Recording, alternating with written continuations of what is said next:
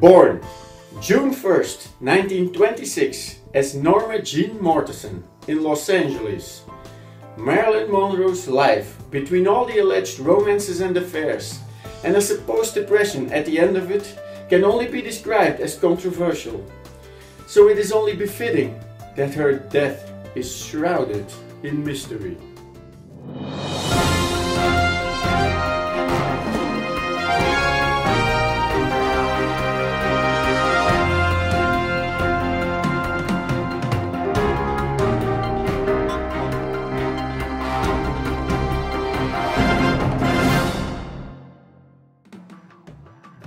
This is the series where I tell you a story, its subsequent theories and explanations, and then I let you make up your mind.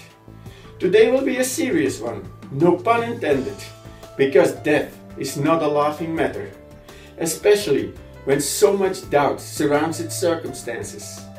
Let's study the situation involving the death of this icon in depth.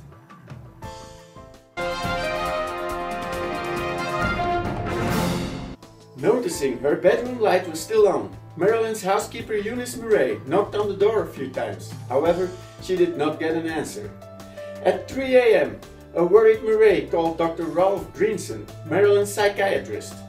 After failing to enter the room the conventional way, he broke down the window when seeing her lying on the bed. He checked for a pulse. In the early hours of August 5th, 1962, movie star Marilyn Monroe was pronounced dead at the scene. At 4.30 am, about one and a half hours later, the police was finally called. Upon arrival, they questioned Greenson and another doctor there. They inspected the room and found empty pill bottles on her nightstand. Yet oddly, no glass or cup of water was found. Greenson estimated that Marilyn passed away around 12.30, while Undertaker Guy Hockett put it between 9.30 and 11.30 pm the previous night.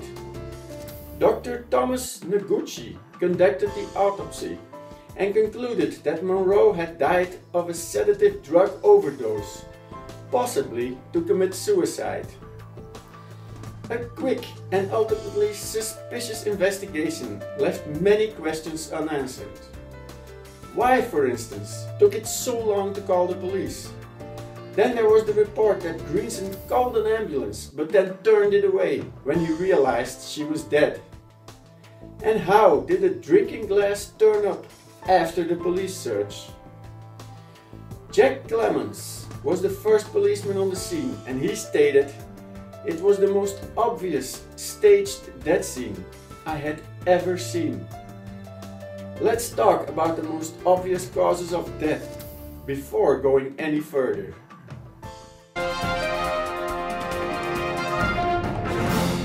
The lesser believed theory is that Marilyn Monroe, after allegedly suffering from a psychiatric disturbance for a long time and being depressed the last few weeks, committed suicide.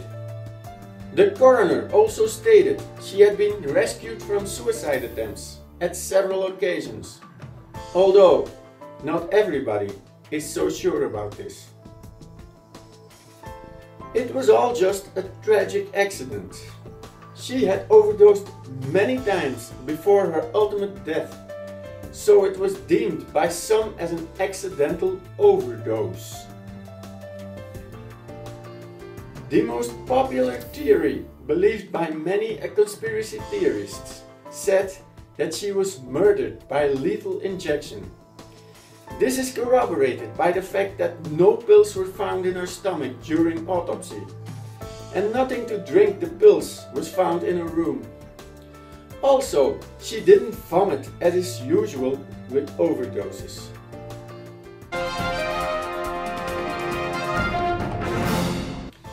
In June 1964, author Frank A. Capell published a 70-page booklet, the first casting doubt on the official account of Marilyn's death. In it, he argues that both Monroe and Robert Kennedy were communists. Ultimately victim of a vast conspiracy, the Communist Party ordered a lot of murders disguised as suicides, heart attacks and accidental deaths, according to Capell. Pulitzer Prize winning novelist Norman Mailer published the book Marilyn, a biography. He believed her to be a revenge killing by either FBI or CIA against the Kennedys for the Pigs Bay fiasco. He also said Marilyn called the White House on the night of her death. He however had no single piece of evidence to back up his claim. The third theory is allegedly based on a non-authenticated report that supposedly circulated among the FBI.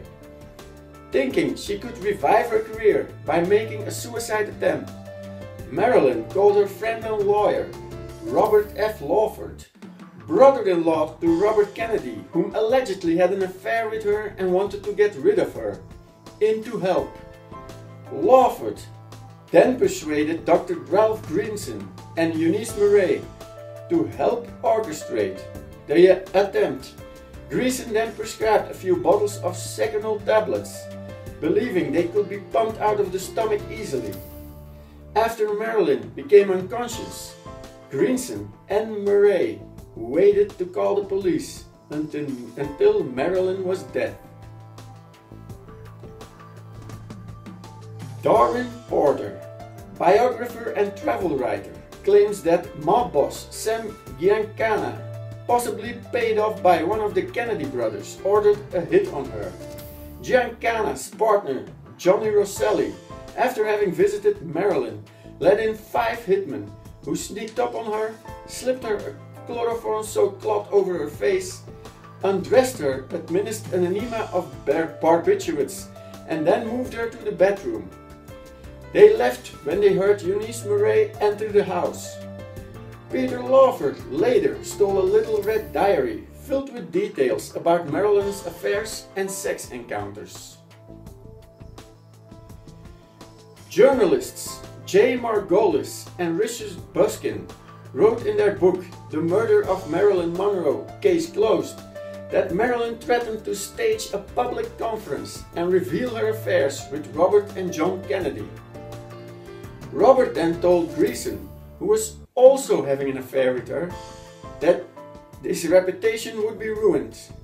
Later that evening, Kennedy, along with Greenson, Lawford, and two bodyguards, came to Marilyn's house and one of the bodyguards administered a powerful enema, whilst the others looked for her diary. When Eunice Murray and her son Norman Jefferies found Marilyn's naked body, they called an ambulance. And when they arrived, Greenson suddenly appeared on the scene and took over from them, ultimately sending them away.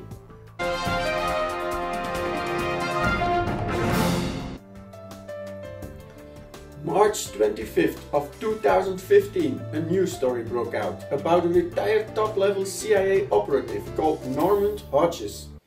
He confessed on his deathbed that between 1959 and 1972 he committed no less than 37 assassinations for the American government, and this included actress and model Marilyn Monroe. Allegedly, she hasn't only slept with, Ken with the Kennedys, but also with Fidel Castro, and that she had to die. Unfortunately, few or no written files exist to corroborate this confession, and all the witnesses who can confirm this are either dead or missing in action presumed dead.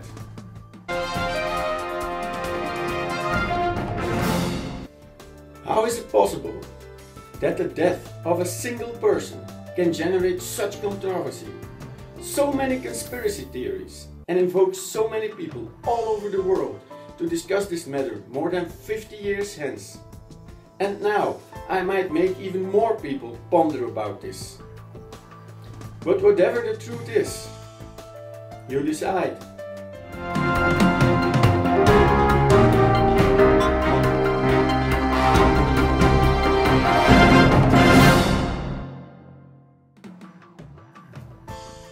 So, did you like the video? You can click the like button. You can leave comments in the box below. Hell, you can start a discussion group in there for all I care. If you haven't already and you want to see more, you can subscribe to my channel. And you can share this on your social media with your friends and people you never heard of. I have a vlog channel, so if you want to get bored out of your mind for a while, why don't you check it out? And you can follow me on various social medias, all links in the description below. See you next time!